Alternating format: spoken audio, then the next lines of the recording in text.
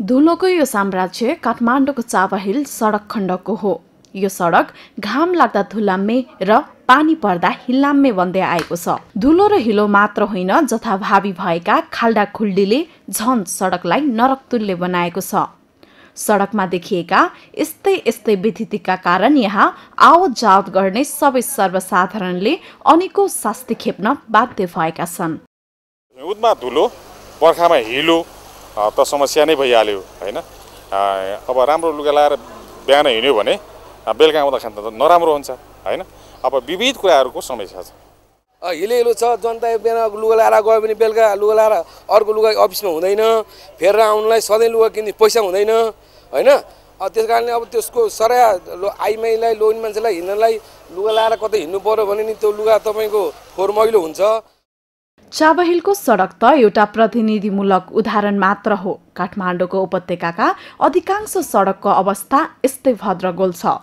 एउटै सडकमा भिन्न भिन्न आयोजनाले बनाउने र भत्काउने गरिरहेका छन्। विकास पूर्वाधारको नाममा बनाउने अनि भत्काउने काठमाडौँका सडक भद्रगोल बनेका हुन्। अहिले मिलम्ची खानेपानी आयोजनाको पाइप बिछ्याउने कामले सडक जहीँ तहीँ खनिएको छ। खनिएको सडक पुर्ने र कालोपत्र गर्ने काम भने सुस्त छ। भत्काउने भन्दा पनि बनाउने कार्यमा देखिएको यो सुस्तताले सडकको हालत अस्तव्यस्त बनेको हो। मेलाम्चीको पाइपलाइन खानेपानीको पाइपलाइन ओछ्याउने कारणले पाँच सात पर्सेन्ट चाहिँ जो धुलो बढी देखिराखेको छ। त्यसलाई चाहिँ न्यूनीकरण गर्न चाहिँ हामीले चाहिँ दिनको त्यो स्ट्राटेजिक सडकहरूमा दिनको दुईचोटिसम्म पानी छर्कन पनि लगाएको छौँ।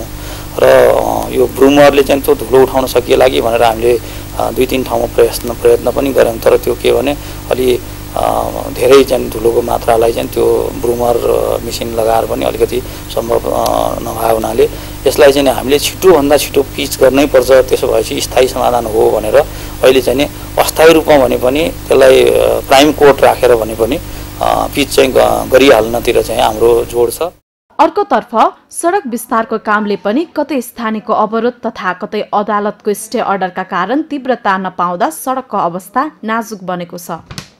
त सडक सडक भन्ने बित्तिकै सडक विभागको अग्रपङ्क्तिको नाम आउँछ निश्चितै हो। तर सडक विभागले गर्ने भन्ने चाहिँ निश्चित बाटाहरू मात्रै हामीले गर्छौँ।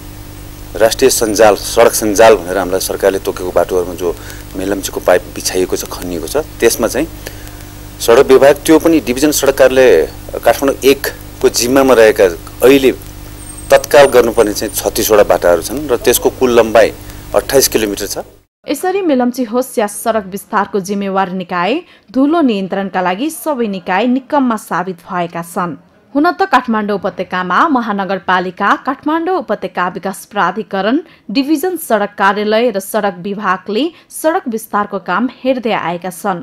बिरालो धेरै भएपछि मुसा मार्दैनन् भन्ने लोकोती जस्तै यी निकायहरूबीच आपसी समन्वय नहुँदा सडक भद्रगोल र कुरूप त बनेकै छ।